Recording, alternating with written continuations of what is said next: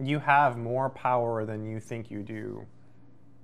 Most of us are able to accomplish much more than we think we can. And I think it's normal that we don't realize it. If you think about animals, and I'll use a deer for example, and you're trying to you know, go up to a wild animal, you can hold food in your hand, but a lot of times the animal will hesitate. It'll keep, it'll keep a distance. And over time, maybe that animal, if you keep seeing that same wild animal, you can maybe create a bond with it, but it still has that natural instinct where it wants to stay away from humans. Birds on the beach, same thing. You know, they always keep they always keep their distance. Human beings do it too, except we do it with our minds. For example, if you have a friend and your friend tells you, "Hey, you should try this new thing or you should go do this new thing." The first thing that most people create in their minds is, "Okay, this new thing, you know, is it safe? You know, is, is it okay for me to do it? You know, what's going to happen? What are the consequences?" We start thinking because we are intelligent creatures. And so it's normal for us to think about the situation, but we tend to sometimes overthink and we have this defensive mechanism because we're built for survival. It's, it's just like the birds on the beach. Being self aware of that, being self aware of your survival instincts when they kick in, can help you progress in life you know, so if someone says, hey, you know, you have that test coming up in a week, ah, I need to study for that test. That, that again, that, that creates a whole series of thoughts. And all of this can be resolved with one simple thing. Right? There's one thing that you can do by being self-aware that perhaps the bird on the beach does not have the ability to do. I mean, maybe, maybe it does, but I don't know. I, I don't think so and it's take action. Okay, the action that you take is going to remove all of that insecurity, all of that doubt, all of the stress that is being created from the inaction. You know, many many times when you have a task in front of you and you're trying to do it, you don't do it, and that causes stress. Your, your inaction is, is what's creating the stress.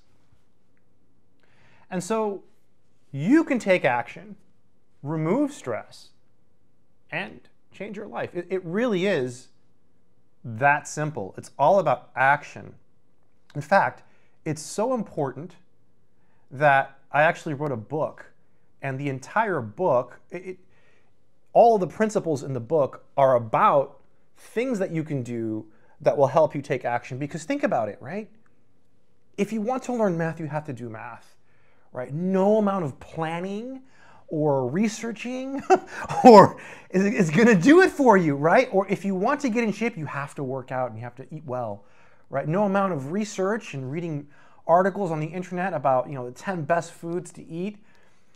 It, it's not going to do it for you. I mean, I wish it did. I could sit there and read these articles all day long. Like, oh, it's a good idea. I love avocados, but it's not going to help me get in shape, right? You have to put in the work for everything. And what does that mean, put in the work?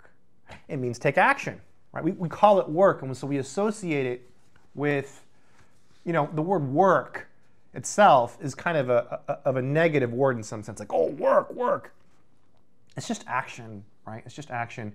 And it relieves stress because if you have something you're trying to do and you just get it done, that's how you change your life. Right? That's how you make positive steps. And that is the best advice I can give anyone who is trying to improve their lives is take action, right? Take action. A lot of times, people have a hard time getting started. And so, this is where the idea of being self aware is also very powerful. So, again, in my book, I'll, I'll mention it again. There's a technique, I call it momentum mastery. Here's my book, by the way. It's in chapter, let's see what chapter it is three or section three. It's a small book. You can read it in a day. Oh, it smells really good. Momentum mastery. So what that is is if you're having a hard time getting started, okay, realize that. Say, okay, I don't really want to do this. This sucks, right? But then realize that once you start, you're going to feel differently, okay? You're, you're going to start building what I call mo- mo- momentum. Like once you do one math problem, or once you go to the gym and you warm up a little bit, it becomes easier to keep going. So when you are aware, when you are aware of the fact that once you start, it's easier for you to keep going, you're more likely to, to push yourself and say, I'm gonna do it anyways. I'm gonna do it anyways. I mean, How, how do you push yourself? It's also my book. I call it the shifting power. So a lot of times when you're trying to get started on something, you know that once you start, you know that you'll be all right, but you can't get started. So you have to develop the ability to push thoughts out of your mind. And say, what? Yeah, think about it. When you're having a thought, you really are just thinking about one thing. So if you can learn to control your mind, you can control your actions. And we talked about it before, your actions are what's going to lead to changes in your life. Action, action. It's all about action. It's all about doing. It's all about doing. And doing takes more energy a lot of times.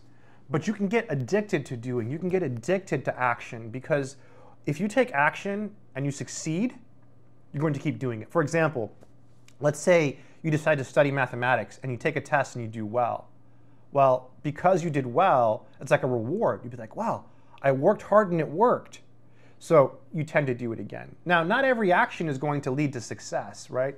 Most actions, especially when you're trying to do something hard or big, are going to be small little micro failures. And if you think about it, anyone who's done anything big in this world has had a series of micro failures or failures up until the point they had that big success. So failure, in some sense, is positive in some sense, right? It's, it's a it's an instrumental part of success. It's necessary for success. You, know, you have to have those failures until you get that, that big success. You can change your life, and it's just simple. It's just action. Action. Anyways, that will give you the ultimate power, you know, because if you can learn to take action and get things done, if you can become one of those people, then, then you're set. You just wake up in the morning and you have something to do, just say, do it now, do it now, do it now. And you just do it. And you just do it and get it done, and you're gonna feel so much better. Another thing you can do that will give you power is try to get into a routine. I call it morning power because the mornings, I think, are the best times. It's actually in my book, there's a section called Morning Power. And I feel that in the morning, when you think, when you exercise, especially think, use your mind in the morning, you're able to process things better, retain more information, and the learning just, it just sticks. I always, and I was in college for years, way too long. I always, like so many math classes, I always studied in the morning, okay, always before tests. I would wake up at four in the morning, have my coffee. Let me tell you, it helps. It really, really helps. Mornings are key. Mornings are key. Your mind is fresh, you're ready to go, get it done. It sets the tone for the rest of your day. If you get something done in the morning before you go to school, before you go to work, you've already conquered the day and technically your day hasn't begun, right? You've you've worked out, you've gone for a run, you've done 10 math problems and it's 8 a.m. Right? I mean that you've already had a good day and your day's just getting started. So that sets the tone for the rest of the day. Not only that, you've taken some action. And we talked about it, right? Action is the one power you have that can change your life. You also have to believe in yourself. That's another thing that is very, very important. You know, believing in yourself, believing that you can succeed, because I think a lot of people don't take action because they think they're going to fail and they, don't, they just think they can't do it. And that's something that I think, fortunately for me, I have been lucky that I have always had belief. That's not something that I've ever lost. So I've been really, really fortunate that that's how I'm wired. Not everyone is wired that way. Okay, not everyone is like that, right? But I have that. I'm lucky that I'm that way, right? Because not everyone is. I know a lot of people don't believe they can do. I believe I can do anything. I, you know, I, I have no no limits, and I don't believe people should. I, I don't think you should put any limits on anything, right? You can do anything. Start believing. Really, start believing.